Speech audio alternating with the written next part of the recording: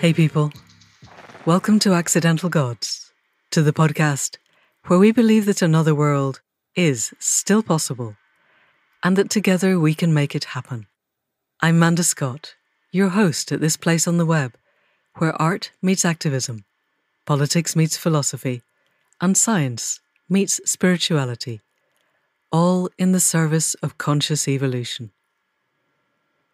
And my guest this week is someone that I have been wanting to speak to for a long time. Louis Weinstock is a child psychologist. He's a game designer.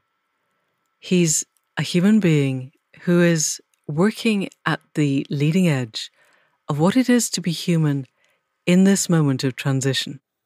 We came to him because so many of the people in Accidental Gods, either the people that we interview for the podcast or the members of our membership program, are adults who struggle to know how to speak to their children about the times that we're in. We can no longer feed them the stories of their world being better and brighter and bigger and more full of good stuff that they can have than our world was. That reality has broken down, and we don't know what to replace it with. And Louis has a website called Finding Our Light in the Darkness. And I want to read you a little bit of his bio before we head in. He says, I work with children and the child inside us all, the one that wants to be loved, the one that wants to cry, the one that knows what it wants, the one that really does dance like nobody's watching, the one that spends timeless hours looking at bugs under a piece of bark, the one that keeps getting up, no matter how many times they have fallen down. I help people find a light in the darkness, especially in grief, in the shadow, in the things that are unseen, unheard, and unspoken. I see death as our greatest teacher and avoidance of it our biggest mistake. And I read that, and I felt that if we could bring some of this to the Accidental Gods podcast, to the Accidental Gods world, it would be a good day in our world. And as ever, this podcast went to places I wasn't expecting. Usually, they're conversational places. In this particular instance, as you'll hear, we went to places inside me that I wasn't expecting, and it was a profoundly moving experience. So we share it that you may explore similar places within you because I really do believe that this is the way we move to where we need to be. So, people of the podcast, please do welcome Louis Weinstock. So, Louis Weinstock, welcome to the Accidental Gods podcast, and thank you so much for taking time out after your Greek visit. Was it good in Greece? It sounded amazing. It was amazing. Yeah, we've been going there for about 15 years now to Kefalonia. It's such a peaceful, lush place. Just, you know, you wake up in the morning and you've got the sound of goats with bells around them walking down down the hill and wow. just it just an instant relaxation feeling going there love it yes and a way to recharge batteries after what i imagine must be a life that requires quite a lot of recharging yes so although goats with bells many years ago when I was a vet, I worked with some people who had cows with bells, and they said, you know, they spend a lot of time kneeling in the mud and they jam their bells in the mud. And I think that's because it's driving them completely crazy. Probably. Walking around with this thing jangling every time you move. But the cows had learned how to silence them. I was deeply impressed and spent quite a lot of time trying to persuade them to take the bells off the cows, which worked in the end. Anyway, so you do a number of things, but you're essentially, you specialize in working with vulnerable children and young people on the margins of society, helping them to process their grief and their alienation and everything that our society does in taking these amazing little forager hunters that we give birth to, those who give birth, and then turning them eh, into what we turn them into. So, always at the start of this podcast and here as well as ever. I would really like it if you could situate us in your life and how you came to be someone who has the skill and capacity and desire to take on something that sounds so huge to me and so profound? Wow. Well, firstly, thank you for sort of describing the um, situation so well and so lucidly um, in terms of the hunter gatherer children and what we turn them into. I guess that was, in a way, my experience, like it is most of our experiences. I uh, grew up in a in a loving uh, family with its own flaws, like all families have flaws. And when I became a teenager, I um, started to feel increasingly disaffected, like many teenagers do. Although, interestingly, and perhaps we can talk about this later, um, the idea of a stormy adolescence is a very Western idea. It's not actually as universal as we think it is. But it certainly was in my case. And um, I started getting into trouble at school with the police and um, getting involved in various things that, you know, looking back, probably shouldn't have done. And I ended up when I was about 17, I, I came back from sort of raving all weekend and had a, a moment with my uh, parents who were waiting for me. My mum got really upset and started crying. My dad got really angry. And I often refer back to that as a bit of a turning point in my life, both for better and for worse, because I woke up the next day and I was like, mm, I don't really want to be this angry, disgruntled teenager who's creating suffering for other people anymore. And I did this very sort of naive drawing on a post it note. I remember it very clearly. I just drew two smiley faces. One smiley face had one smiley face equals smiley faces. So um, that was me being inspired by rave culture and also compassion. Um, so I kind of, that was in a way my turning point, and I started sort of just wanting to be a, a better person. I also, uh, and I'll talk about this perhaps later, but I also disconnected from my anger a lot at that point and I've been reclaiming that more recently. Hmm. But I started wanting to help people. Um, I started with a job at university where I was a support worker for a disabled couple who are amazing. I'm still friends with them now, uh, Mike and Linda. And then partly by chance and also by following this path, I um, I did some work with young homeless people. I think a lot of it is the typical sort of wounded healer journey where you uh, end up working in places where you're actually really trying to heal your own wounds fundamentally. And that was definitely true for me. Um, and there was something about working with young people on the edges of society that it was helping me. Um, so, remember, for example, I used to run a therapeutic school for uh, teenagers who had complex trauma and were kicked out of lots of other schools. And I always used to think that the kids who came to that school were much more real, mm. way more alive than the majority of people, typically middle middle class people that I would hang around with.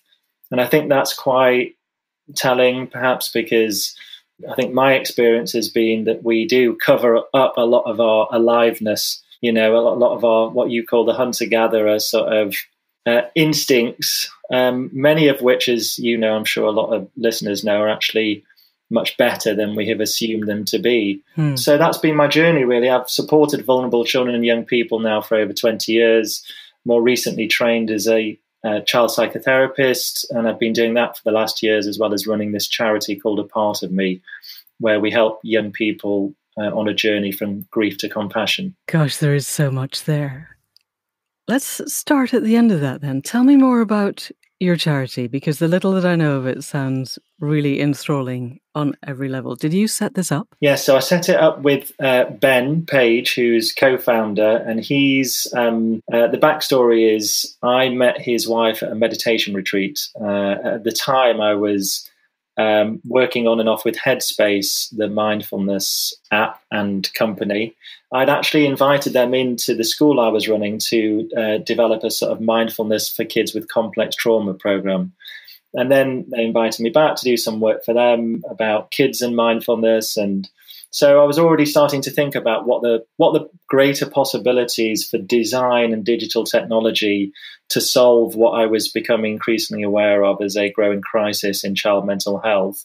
And uh, I met Kirsty, a child psychologist, on a meditation retreat, and she said, "Oh, my husband's an amazing techie guy, and he really wants to use his skills for good." Huh. So we started chatting, and and then I was working at hospice in Hackney, uh, part of a psychology service where I was providing counselling support to families, either where a um, parent usually or a sibling had a terminal illness or somebody had died and it was more uh, sort of, I guess, traditional grief support. And during that time, we started to realize that there was um, a real need for a more innovative solution to help young people with grief hmm. because the sorts of young people who end up in a counseling service they're usually more resourced. And um, even then i was meeting lots of young people with real um, challenges in their grief. They've gone down lots of really challenging paths. Uh, so we set up this charity a part of me and it's based around a therapeutic mobile game and um, the idea is, and it's been working well so far, is to provide a accessible platform for young people, particularly those who are at risk of developing problems in their grief, so that they don't end up down that path of mental health problems, offending behavior, and all of the things that we know from the research are associated with what's called complicated grief. So, are you able to tell me about the game? I, I ask as a as an addicted gamer. I've given up World of Warcraft four times so far, but on Monday I'm leading my first battleground again. So we'll see how well that went. So I've probably just lost most of our listenership, but but I'm really curious to know how this game works because most games, we all know this, feed into our dopamine systems by feeding us little successes at random. Um, and in the case of of the ones that allow you to fight other people. You have the the competitive edge. As someone who used to do battle reenactment, I find that Warcraft gives me exactly the same buzz as winning on a battlefield did when it was all mud and rain and sleeping under the stars and listening to them singing the philosopher's song at four in the morning when they were all drunk. And I don't have to do any of that bit. I get to stay dry and have showers and not listen to drunk men singing, and I can still have the buzz. But that's not probably healing complex trauma, really. So, how are you creating a game that is engaging and healing? Um, so we essentially have designed a um, a safe space is the simplest way to describe it. So it's based on an island, and uh, your character arrives on the island, and we're quite direct about the purpose of the game. So as soon as you land on this island, you come through this stormy uh, sky and you're greeted by a guide, the guide of the island, who's this wise elder who explains that they've been through something similar to you. Their role is to support you through your process. So uh, the game is essentially based around um, exploring this island, meeting different characters, uh, listening to stories that you can find in a cave from other mm. young people who have lost loved ones.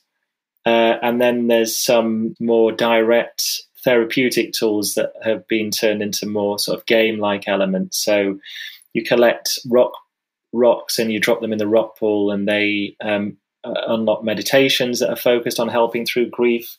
You catch fireflies in a net, and each firefly uh, teaches you uh, wisdom about a particular emotion that people experience around grief. There's another feature where you learn about uh, different perspectives on death and dying.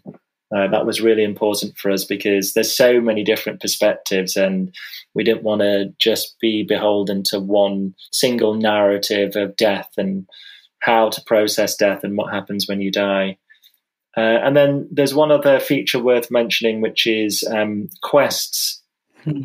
This was really important for us because uh, quests are essentially a challenge where you are able to ask questions and have conversations that would usually be really difficult or uncomfortable conversations. So, for example, if you choose the pathway in the game where you have a loved one who has a terminal illness, a quest might be to get you to ask that person, say it's your mum or your dad, ask them what their favorite memory of you was when you were growing up, or mm-hmm. how do you remind them of them, those kind of questions that allow you to build that bridge, which is often really difficult. Because when somebody is facing the end, so many conversations can become fraught mm. uh, especially with children, because a lot of parents, you know, you know, in some ways, I, I really understand this. They really want to protect their children from the brutal reality, but when you do that, it often makes everything seem superficial. In my experience, children are much more intelligent and sensitive and kind of pick up on what's going on. Mm. So that feature is really encouraging those connections and those difficult conversations. So if I were, let's say, a seven year old, I've playing this game and I'm assuming that my parents have encouraged me to play this game and I've got the quest and let's say my dad is dying. The quest is for me to actually sit down and go and put the phone down away from the game and go and talk to my dad and ask him the questions that the quest has given me. Well, there's kind of options within that. So we felt the simplest way in the first instance would be to send. So there's a share feature. You can just send that question. Mm and the answers can get stored in a in a digital journal. Right. But obviously, it's great if that conversation can be um, supported in real life. I mean, as much as a digital uh, platform can help with any type of mental health problem, I also am a huge believer in the importance of uh, in person, face to face interactions um, so this was a stepping stone, yeah. and it's really what we have out there at the moment. It's been used by, uh, it's been played by over ninety thousand people around the world, which is great and a really good start. But it really is sort of the first step. It's a um, prototype, and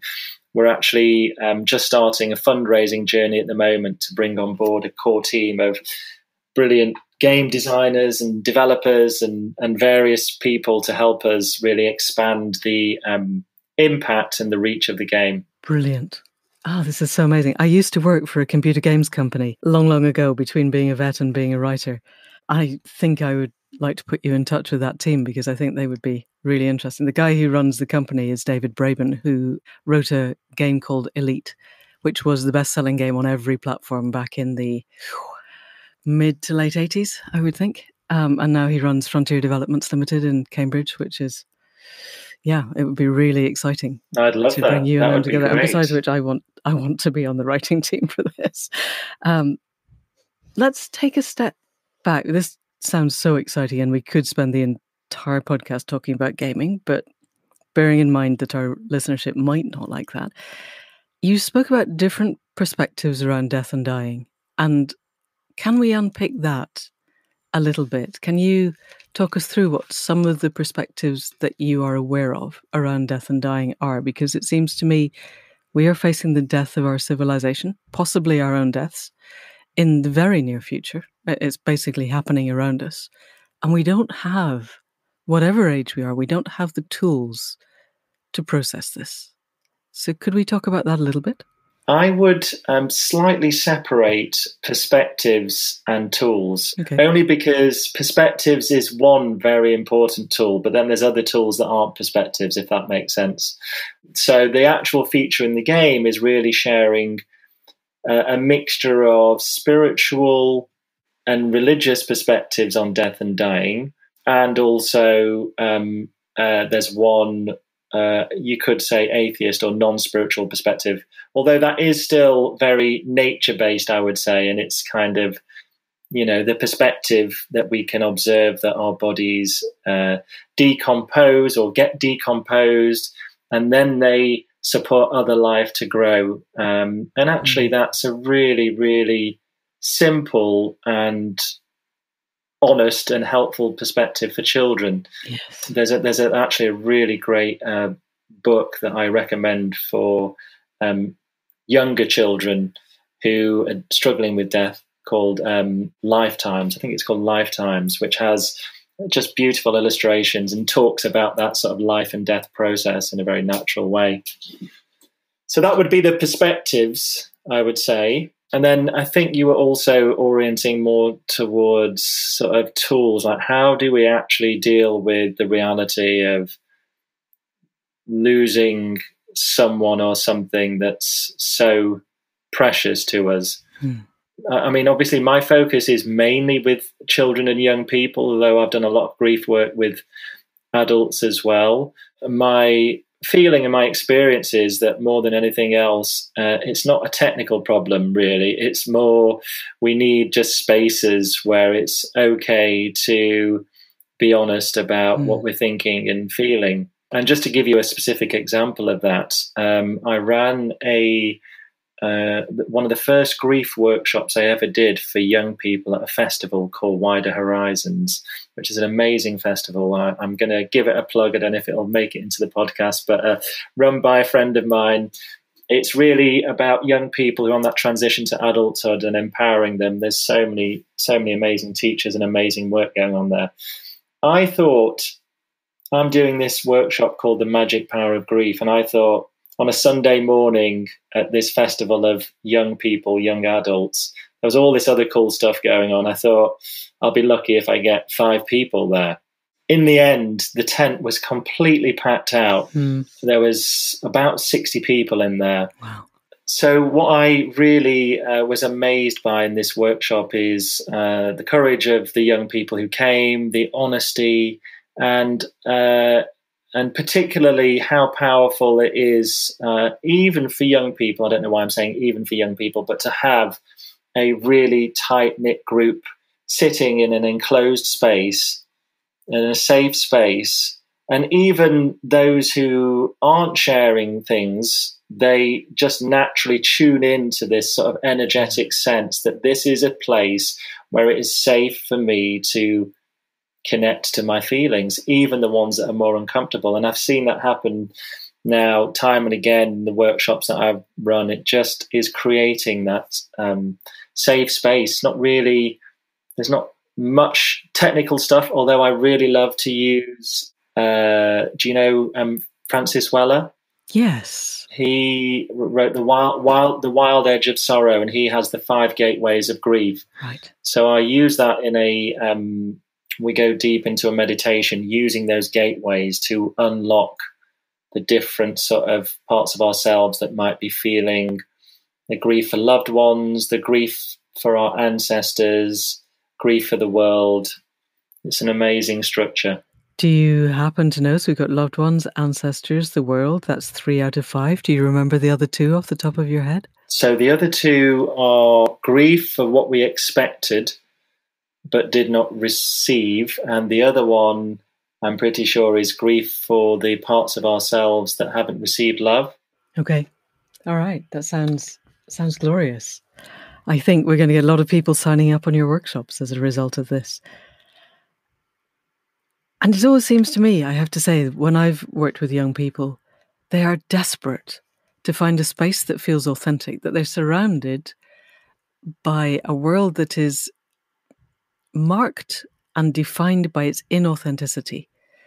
And that when they find authenticity and they find a space that allows them to speak their truth, it feels like a coming home. And we spoke earlier, you said that the forager hunter model of of what we are and then we domesticate ourselves into this unreality and that teenage angst was a western thing which speaking given that i spent a lot of the boudica books as i was writing them deeply embedded in as much anthropology as i could find to try and work out who we were before the romans came i blame the romans for a lot of this how have you seen teenage angst and how it could be and what adolescence could be if we allowed it to be healthy. Does that make sense as a question? It does, yes. So I think it's important to say that there is something biological about adolescence. There's been studies, as they always do these studies on mice and rats, where they show that adolescent pups are more likely to take risks, and risk taking is a significant feature of uh, moving into adulthood. And it's also an evolutionary advantage because without that risk taking, cultures don't evolve. Hmm. Um, so there is something biological about it. But uh, in our sort of the modern Western culture, we've extended that period of adolescence now. I mean, some people sort of uh, joke that it goes well on into the 30s at least these days. One of the things, perhaps obviously, that we've lost uh, are the rites of passage that in more traditional or tribal cultures really have evolved over time as mechanisms to support that transition mm. from tr- childhood to maturity to adulthood. And the key thing about those rites of passage is a young person will be given a challenge mm. um, and they'll be taken away from their comfort zone. But the challenge is a real challenge. For example, um, I understand in some Native American cultures, uh, the young person would be taken to the top of a, a, mountain and essentially left to fend for themselves for three days and nights. But there are uh, elders who are keeping an eye out for them, so they're not completely on their own. And when they've gone through this challenge, obviously there's a significant psychological shift that's happened then. And the big thing, the big differentiating factor is when they come back into the community, they then have a different role. So we have some sort of rites of passage in our culture that sort of, you know, very loosely continue that theme. Some people feel that going to university can be a rite of passage, and it is in many ways, but it, I feel like what's happened is we've sort of dragged out adolescence and extended the period of essentially this sort of intermediate phase where you're neither a, a child nor a mature adult.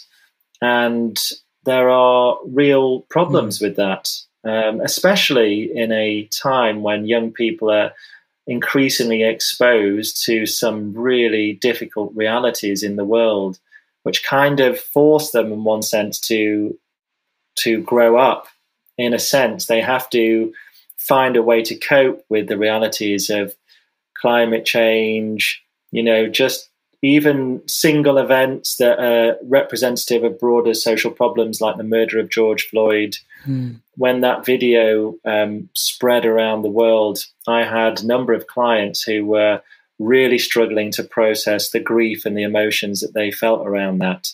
So you know, it's we can't really protect our young people from these realities anymore, but we need to find ways to support them to make that transition into adulthood. And if we were to design a route from our current culture to one that was more healthy and more supportive, have you ideas of what we could do now? We don't have time to create blanket systemic change, but if you were asked to advise I don't know, people who had the power to make it happen, of some things that we could do to begin to create that sense of authenticity. Can you see a route? It may be that there isn't one, that we would have to change the whole of our culture so much that it's hard. But have you got ideas?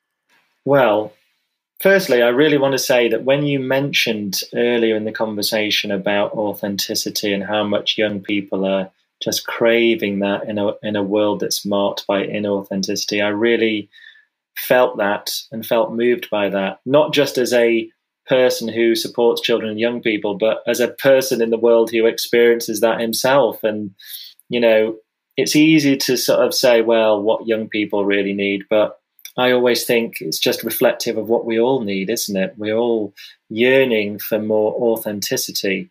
Mm. And I do think, with my focus on children, that the starting point for that is the people who are caring for them. So that's parents, obviously, in the first instance, and that's teachers, anyone else who's caring for children. They can really begin to be that model of authenticity. Mm. And what that requires essentially is to trust, I think, in the children's capacity to to bear things. I mean, we, we, we've essentially ended up in, in our culture in a place where children are treated as precious treasures, and they are precious in many ways. Uh, but we end up overprotecting them, and we've forgotten their sort of innate capacity to bear things, to be able to tolerate difficult things. And actually, mm. I really love uh, you know the concept anti-fragile from uh, Taleb, Nassim, Nassim Taleb. Uh, that concept applies perfectly to human beings, to children, because they um, they aren't china teacups. They need to be exposed to some stresses and some risks, reasonable stresses and risks, to allow their fullest potential to grow. And just to make it very concrete for a moment, one of the things, because I work a lot in, in death and grief, I see so many um, parents really worried about mentioning anything to do with death with their children. And I think my, my advice is really don't need to worry so much. Obviously, don't just overload them with really challenging stories or expose them to too much stuff, but just to give you a very specific example, I've been quite proactive with my daughter in pointing out when we walk past things that have died and having a space where we can talk about the thoughts and feelings that come up. And it can start very early on in life. And and and I'm as much as I can, I try and be honest about my own feelings as well. And that's really where the authenticity thing comes in. Because mm. I think sometimes we can feel as parents or grown ups that the grown ups are supposed to have figured it all out, that we've got the answers and that we need to be in control. Yeah. And if we're not in control, uh, then our children will feel that the world is chaotic and, you know, they'll just crumble or something like that. Uh, but actually, that old idea of power is just dissolving anyway, right before our eyes. You know, we see the institutions that represent power and the bastions of truth. It's all crumbling before our eyes. And it's much better and more mm. realistic and more likely to build strong and empowered children if we can be honest about that in ourselves. We don't lose anything. I think we actually gain trust uh, through holding that sort of just authentic stance. Which presupposes that we know what our own authentic stance is. So I guess it requires an amount of inner work on the part of everybody so that they can get to a place from which authenticity arises. You can only speak your truth if you have some concept of what your truth might be. It seems to me you've done quite a lot of meditation. Do you feel that your capacity to find your truth arises from that, or have you found other routes to finding your own authenticity? Um, meditation has been a, a huge, huge help in my life I, have sort of gone down a twin track in a sense where I've been really interested in pursuing meditation from quite an early age and various other, you could call spiritual practices and perspectives. Um, and at the same time, I've been really sort of intellectually curious. And at one point, I was um, uh, studying, doing a master's in post colonial politics Wow. And at that point, I uh, was getting good feedback about my ideas and my writing, and I was, you know, thinking about being encouraged to pursue a, a potential career in academia. But I actually had a, a, a, bit of a turning point. One day, I was walking. I was studying in Aberystwyth University, and I was walking along the uh, the pier there, and my head was so full of um, all of these ideas complex and abstract ideas about the world. And suddenly it hit me that I was actually looking out at a beautiful view. I was completely dissociated from it, completely disconnected from it. And I actually had a little bit of a panic attack and I hmm. and I ran back to the flat where I was staying and it took me a few days to process that. And I actually in those days made a very firm decision not to go down the route of academia because I felt, you know, I, I was actually worried it was going to send me insane if I was so disconnected from the, the actual world around me and my head was so full of ideas. And that's when I got much deeper into embodied oh, practices. And I sort of realized that for me, the simplest way to access authentic truth is through the body rather than stories and ideas and opinions that come from our mind. Can you say more about that? Yeah, well, it's it's simple in one level, although I understand, having shared this with many people over the years, that some people can have certain psychological defenses against accessing their body. And particularly, some people with trauma can find it difficult to access their body in a in a direct way. So this comes with a kind of preface, but for me, it's really having the capacity to tune in and notice what's going on in the body on the level of sensation beyond any kind of elaborate description. So if I was tuning into my body now, I'm noticing there's a you know there's a slight sense of constriction in my throat, but it doesn't feel it's just there. I'm not judging it. And if I move down my body, I'm noticing there's a sense of warmth in my chest. So this sort of simple practice orients me to my body. Now, that for me is a, a starting point for truth because it's just grounding me in the reality of where I am in this moment right now.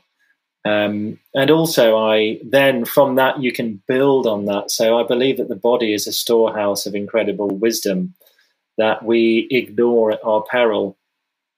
Obviously, having evolved over such a long period of time from the earliest, you know, single-celled creatures to where we are now, that's like so many years of, you could say, evolutionary intelligence and wisdom that's stored in our bodies. So, from that direct perception of what's going on in your body, you can start to tune into it and listen to it. There's all sorts of practices that you can use to listen to the wisdom of your body. But I really like, particularly working with children, you can just speak to different parts of your body. So if you feel, if a child, for example, is feeling really anxious, it could be about parents arguing, or it could be about the climate change. You can go into the body. I would always try and go into the body first and just say, can you just notice what's there? Maybe it's a feeling in the stomach. And can you, first of all, just let that feeling in your stomach know that it's okay for it to be there? Brilliant. And then, almost always, when you do that, um, I would say pretty much 100% of the time, just letting the feeling know it's okay for it to be there gives it space. It removes a lot of the conflict and the tension that we've internalized that feelings should or shouldn't be there. And then you can start to, having located the feeling in the body, you can start to kind of communicate with it. And then you can get more creative. So, you know, if if that feeling in your stomach had a shape or a name or a character, what would it be? And what's it here to share with you? Uh, what lesson is it bringing? Hmm. That's the kind of approach that I like to take, and can reveal a much deeper truth than just a, you know, intellectual, logical left brain conversation. Yes. Yes. And provided, as you said, some people have complex trauma and accessing their body needs to be done in a safe space. But otherwise, anybody listening could take the time just now, provided you're not driving a car, people, to access our own bodies and feel what's going on. So if I do that, then I can feel a kind of fizzing in my heart space, part of which is excitement at the ideas. No, I don't need to label it, do I? There's a fizzing in my heart space that feels like I feel when I stand on the edge of a cliff. That I could jump off here, and who knows what might happen. Or I could take a step back and feel less fizzy. And what really struck me with what you were saying was that if I can talk to that bit and say it's okay to be there, then it expands outwards. Then it feels almost like letting compressed gas out of a out of a container. It just fizzes out sideways and the space becomes more like a, an open horizon and less like standing on the edge of a cliff looking down into a very deep, dark chasm. Mm. Fascinating. Really interesting to explore. Thank you. And then if we just take the time and the just take the time really and the permission in our busy lives to go with that. I would be very intrigued to know where that goes. So when you do this, You've spoken a lot about young people having trauma over the climate. Because I can imagine going into this space inside myself and feeling it expand and feeling where it takes me. But I can also imagine in the end running up against a brick wall of I am not able to change things in the way I want to change them. Does that happen or is that my projection? if you were to say to me that that was the brick wall that you're experiencing, I would guide you in the same way Hmm. to see if you can find that sense of something like a brick wall or something like change isn't possible. And where whereabouts can you notice that, if anywhere? So then, if I genuinely go into that space now, it's Mm-hmm. um, actually, I think it's all around. In fact, if I actually do it, it's not just Mhm. around, it's on top. So I end up feeling as if Mhm. I'm in a brick box. And it, yeah, it's bricks. It's Mhm. they're red and they're sharp edged and it's got square edges and it feels, I feel really claustrophobic in there and quite panicky. Could you find somewhere in your body that you might notice that feeling of panic or claustrophobia? hmm It's in my heart space. The bit that was feeling on the edge of the cliff is now, f- I feel there now very tight and very dark and, and v- very fluttery. Could you put a hand there? Would you be okay to do that? hmm And could you let that feeling, that panicky, fluttery feeling, know that it's okay to be there? Maybe just take a deep breath into that space. That's interesting. I don't give myself permission to panic often. So there are a lot of voices going, no, it's not. You have to cope. Right, that's really great to notice notice the voices. The voices are fine, let them be there, but bring yourself back to that space. Hmm. And what do you notice happens when you if you just give permission for that feeling, that panicky feeling to be there? That if we were not in the middle of creating a podcast, I would, I would be really crying by now. Hmm. Okay. Well, whatever you feel is the right next move for you. Well, I think let's stay with this. I think this, we may end up cutting this out, who knows? But actually, I think this is a really valuable and interesting place to go, not just for me, Hmm. Because giving myself permission to feel the panic is Hmm. not something that I'm used to doing. Hmm. And when I do that, the bottom of the brick box falls away. Yes. But then I'm in empty space. I'm just, I'm in a, and this is a space that I recognize that is the most frightening thing in my entire existence. Hmm. A very, very long time ago, over two decades ago, I did an ayahuasca ceremony. Hmm. It's one of those things I, anyway, I did it. And we spent a week. And on the third of five ayahuasca sessions, I ended up in this space, which is very cold. And there is nothing except me there. And nothing cares. And in all the shamanic work I've done, I've met things that terrified me because they were big and frightening and and Hmm. big frightening things are scary but this the not caring the nothing being there Hmm. is the single most frightening thing i have ever met Hmm. and so now i'm feeling the edges of that and i'm actually also feeling the edges of the chair and the desk and i can hear you there so i'm not completely in it Hmm. Well, I think if we were to keep going with this, I would keep you grounded in your body. So I'd want you to just gently notice the the feeling in your body and where it is, and just keep allowing that feeling to be there. Because in a sense, the space for me conjures up an image of kind of existential meaninglessness and underneath that is this sort of terror that we carry. Hmm. And underneath that terror, I think, is grief. Yeah. And what's really interesting is that I just took a what I would consider to be a completely free breath, which happens very rarely. Mm. Like, you know, in ceremony and otherwise not at all. Sometimes when I'm in craniosacral therapy. So the letting go to step into that, however frightening it is, my body likes it.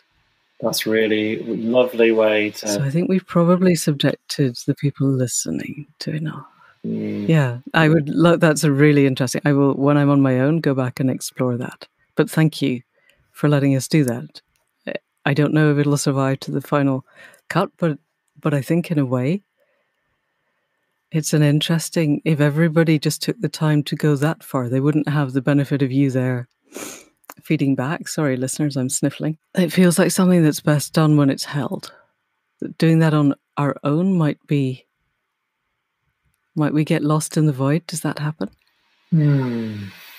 Um, I think it's definitely better held, but at the same time, I really feel um, and often want to empower people to explore these things on their own as well. Mm. Sometimes it's not easy to find somebody to hold you in that space. So, a big sort of driver for me is trying to find out ways to make things accessible and inclusive.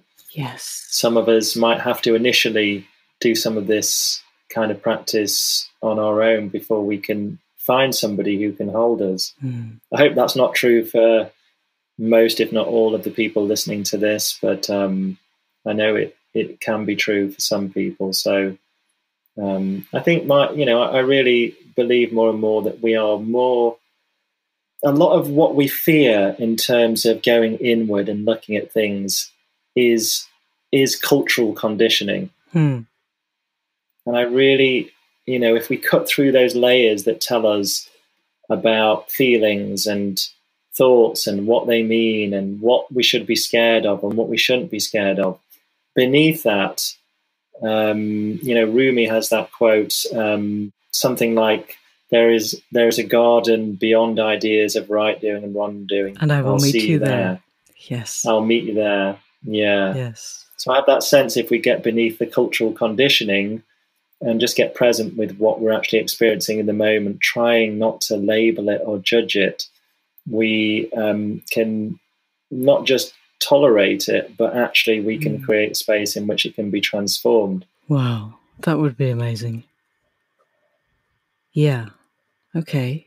And years ago, many decades ago, I remember co counseling being a way where people could create space that, that was inclusive because you offered that and were matched and there was no requirement for a financial exchange. Is that still a thing? Does that still happen? I don't know much about it. I know for parents, there's this great model called listening partnerships.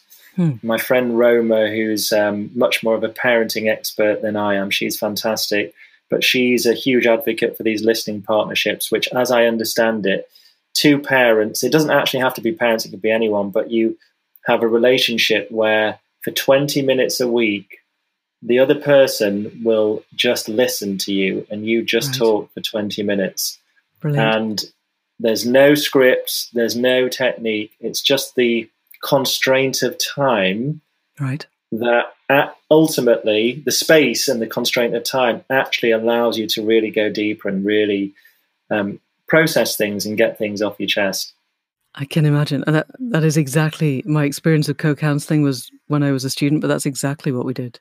20 minutes. Mm. One person only listens, one person only talks. And how rarely we get that in our world. Mm. The both the heldness of the time and the freedom to speak to someone who is genuinely listening. And part of the genuinely listening is the reciprocity of knowing that then one will be listened to don't you think I might be um, a bit too sort of focused on this with my background in therapy? But I really feel if more people have that sort of just direct experience of feeling connected and held in an authentic space, and I feel that in this conversation with you, uh, if more people have that, if more parents can give that to children, uh, I really believe that can have a really radical transformational effect on uh, the environment and the world. It, it, certainly, you know, for me, when I'm in these spaces, I leave, and for a significant amount of time, I feel the resonance of that authentic mm. connection.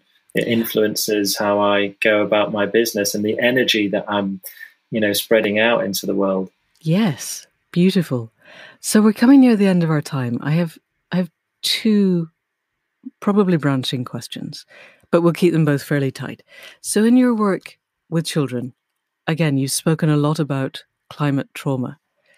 And it seems to me that the children of today, even before Greta Thunberg became a model, but definitely now, are in many ways more aware of the precipice we're heading to than their parents' generation, or particularly their grandparents' generation.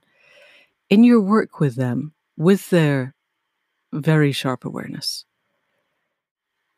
how are you finding they they're then able to situate themselves in an outer world where these conversations still seem not to be happening? I would say the main thing I'm noticing is that young people who have their own experience of climate awakening um, are struggling to find enough adults who are talking honestly and authentically about it. And, you know, been my experience um, seeing some young people in therapy who have really struggled to know how to deal with the extent of what they're seeing happening in the planet. Um, and even for me, you know, I've done so much sort of so-called work on myself and um, think that I'm pretty self-aware, but I still, when a young person sits in front of me and says, like, all the grown-ups are, are lying, the future is hopeless, and I just there's just can't see any point in anything anymore. Even then, I still feel a strong drive to want to make it better for them. And I think mm. that's natural. Uh, but I, I, really have found and been quite tested by that, particularly with the young people experiencing grief or anxiety around climate crisis. Trying to make it better does not work. And that just creates another inauthentic connection. So I've had to let go of the part of me that just wants to make it better and actually just be on a level with them and say, I can really see and relate to where you're coming mm-hmm. from.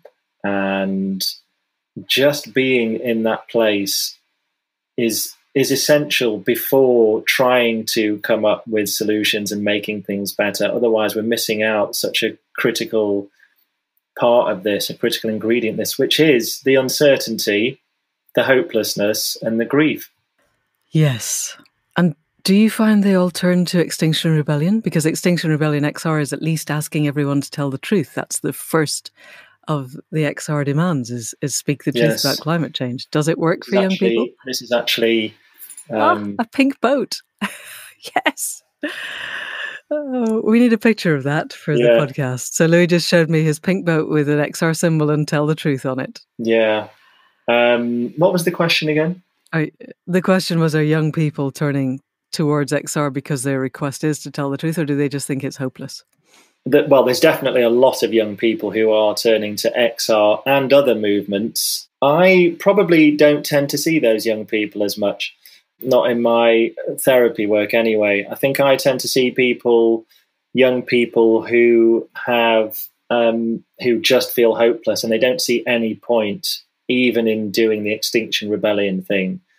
I have, um, with some uh, clients, you know, suggested too quickly. Well, look, there's these amazing movements. I'm so inspired by what Extinction Rebellion are doing.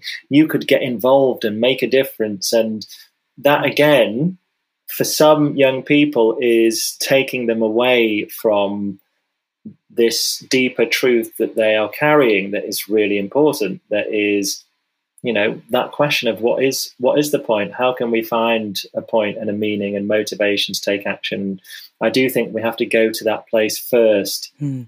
And of course a lot of people there's some great grief work that happens in the extinction rebellion movement and a lot of people have done that work they've gone to that place and come out the other side which i think is why it it's such a often a joyful expression mm. of activism it's it's almost the grief work sort of I think it can take away some of that um, energy of the polarity and, and a lot of the anger that just keeps the cycles going. Yes. That's my hypothesis, anyway. Okay. And we are definitely at the end of our time. So I will abandon my next question for next time because I'm sincerely hoping we will come back. And we are planning to come back when your book is published. Do you want to take the last little while however long you want, to tell us about your book. Yes, I'd love to. So, I am two chapters away from finishing the first draft of a book. Woohoo! Yay! Called um, How the World is Making Our Children Mad and What to Do About It. Wow. And essentially, it's my attempt as a father, child psychotherapist, and someone who cares about children and what's going on in the world to figure out why we're seeing these rises in self harm, suicide, anxiety, depression, ADHD, just the whole range of mental health problems. We're seeing huge rises in them, and how might that be connected to the bigger problems in the world? And uh, it's it's separated into two halves. The first half is essentially shadow work for grown-ups who care for children. So it's looking at the roots of these problems. Um, I see the the modern context of you know rises in narcissism, learned helplessness, all of this kind of stuff, but they all have deeper roots, and I sort of align myself with sort of Jungian thinking, which is a model of psychology we won't have time to go into now, but essentially the theory of archetypes. Archetypes essentially are deep and recurring patterns. So narcissism is something that we know through the, the early myths people have been talking about and concerned about for a long, long time. It's not a new problem. And my feeling is we need to get to the roots within ourselves as these things can often lie in the shadows of ourselves. And then the second half of the book is more about what the grown ups can do with children to help them develop the opposite qualities of those roots, which I'm calling the fruits. So if it's learned helplessness and victimhood, the opposite of that is empowerment. If it's narcissism and loneliness, the opposite of that is compassion and collaboration. If it's hopelessness or despair, the opposite fruit of that is hope. So, yeah, that's that's the summary. Yay! And it'll be out next year. It's going to be out next April. Brilliant. Published by uh, Vermilion. Fantastic. We will definitely invite you back around the time that comes out because it sounds like the kind of book we all need to read, whether we are parents or not. So we've hit the end of our time. Louis Weinstock, thank you so much for your wisdom and your depth and your integrity and for opening doors to healing. Thank you. Thank you so much for having me. And that is it for another week. Enormous thanks, as we said, to Louis for his integrity, for his authenticity, for his ability to bring out the authentic in other people, including me. I do spend a lot of my life striving to find authenticity and integrity in the world. But it's rare that I have the opportunity to bring it out in real time when I'm not just sitting on the hill watching the sun go down. So that felt really rather magical. And I'm immensely grateful to Louis for being part of making it happen. And for those of you who want to find ways to facilitate that for yourselves and each other, within the Accidental Gods membership, we have buddy groups, which have become quite small groups of people who get to know each other extremely well and are able, I believe, to hold these spaces for each other. So that feels like something that you want, then the membership is at accidentalgods.life. And please do not let finances be a bar to you joining. We do have a subscription. We are trying to fund the podcast. But if it's too much, it's not about you not having access. So just get in touch, let us know. We will make things work. And while you're thinking about that, we will be back next week with another conversation. In the meantime, enormous thanks, as always, to Caro C for the glorious music at the head and foot, and for being the world's best sound producer engineer, and general creator of wonderful sound. Thanks to Faith Tilleray for the tech and the website, and thanks to you for listening. As ever, if you know of anybody else who would like to step into a world of authenticity, of truth, of being different, of not perpetuating what was and of stepping into what is, then please do share this link. And that's it for now. See you next week. Thank you, and goodbye.